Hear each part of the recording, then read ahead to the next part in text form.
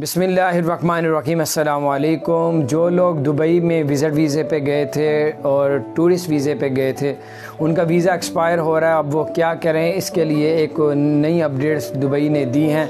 ہماری ویڈیو کو اینڈ تک دیکھیں اور سب سے پہلے تو ہمارے چینل کو سبسکرائب کریں اور بیل آئیکن کو پریس کر دیں تاکہ نئی سے نئی اپڈیٹس آپ تک ان شاء اللہ تعالیٰ پہنچتی رہیں گی۔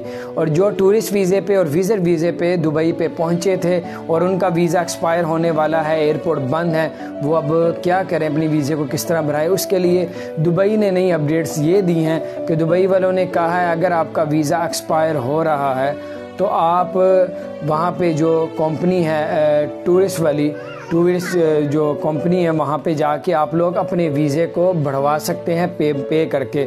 اور وہ ایک مہینے سے لے کے تین مہینے تک آپ کا ویزا بڑھا دیا جائے گا۔ اور آپ کو پھر بھی اگر کوئی مسئلہ ہو، تو آپ لوگ اس ہیلپ لائن پہ فون کر کے نئی اپڈیٹس لے سکتے ہیں۔ اگر کوئی مسئلہ ہو، تو آپ اس میں بھی جا کے نئی انفارمیشن لے سکتے ہیں۔ Zero eight eight double zero five triple one ان کی ہیلپ لائن ہے۔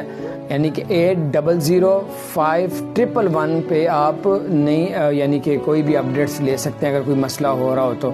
اور امر سینٹر ہے وہاں پہ، تو آپ ادھر بھی جا کے اپنا یہ سب کچھ کروا سکتے ہیں۔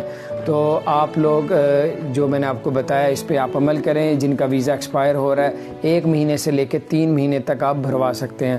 اپنا خیال رکھیں، ہمارے چینل کو سبسکرائب کریں اور بیل آئیکن کو بھی پریس کر دیں تاکہ نئی سے نئی اپڈیٹس آپ تک ان شاء اللہ تعالیٰ پہنچتی رہیں گی۔ السلام علیکم ورحمۃ اللہ۔